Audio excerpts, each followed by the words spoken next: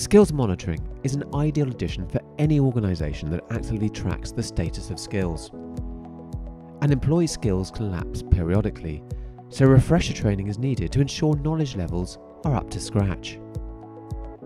Open eLMS automatically refreshes associated learning when this happens and gives management the tools they need to audit skills across an organisation with an easy to understand red, amber, and green indicator system. This functionality is ideal for fire services, police, and hospitals, where updating of skills is a core part of personnel management.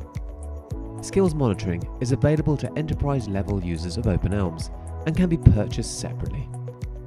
Contact us today to find out more about how you can implement continuous improvement within your learning management system.